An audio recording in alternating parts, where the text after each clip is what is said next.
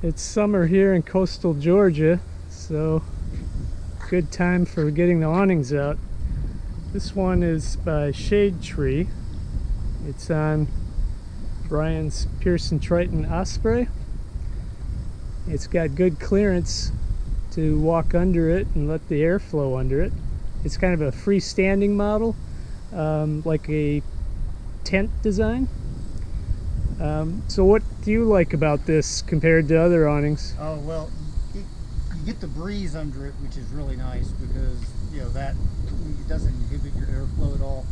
Also, you know, with the gate open, it's reasonable to get in and out uh, from underneath it, and it casts a lot of shade. It really does uh, provide a you know good amount of shade, and it withstands uh, the winds really well. Uh, the fiberglass battens in it will flex um, and more importantly, the way they're mounted on the lifelines, they'll rotate when you know the wind collapses the side. Let's take a look at that. And so the uh, force on the battens never is very much. If, you know, if it takes the wind. And Right, So the it can- fact that it can rotate away Yeah. uh, helps it Okay. maintain some flexibility. They're secured to the lifelines with these straps and pocket here and these individual fiberglass rods uh, nest together. I think they've got a bungee between them, just like on uh, tent. Uh, yes, exactly. And these have like eight sections, and they're bungee through the center. Okay.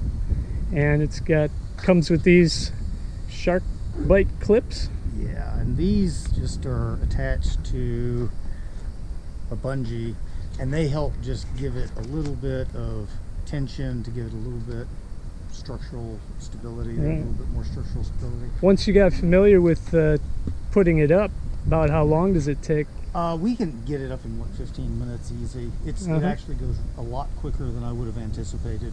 Uh, Right. You know, taking you know all you really have to do is put the fiberglass into the sleeve, and then just use this to connect here, here, and just snap it together and tighten it up, and you're done. Right.